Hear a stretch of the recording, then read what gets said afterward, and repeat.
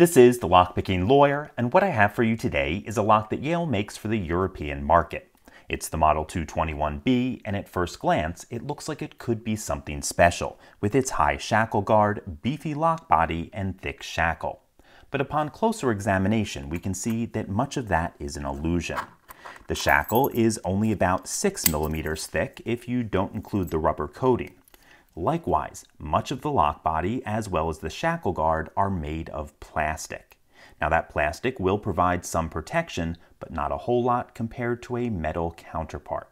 Now, underneath all this plastic is a very ordinary laminated steel lock that seems very similar in size and build to the newer Masterlock number 3. And unfortunately, that similarity extends to the lack of security pins. So let me show you just how easy this is to open. I'm going to use this wiper insert in the bottom of the keyway as a turning tool and one of the wave rakes on my covert companion.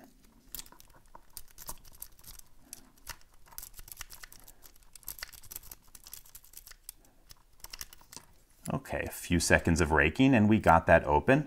Let's do it one more time so you can see that was not a fluke.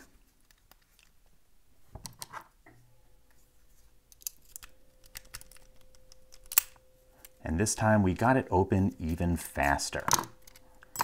Okay folks, obviously that was pretty easy to open with a low skill raking attack. And that's really unfortunate because when I first saw this lock in an online catalog, it seemed like it could have potential.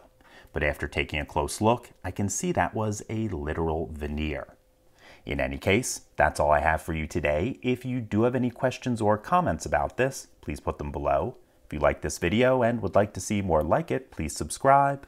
And as always, have a nice day. Thank you.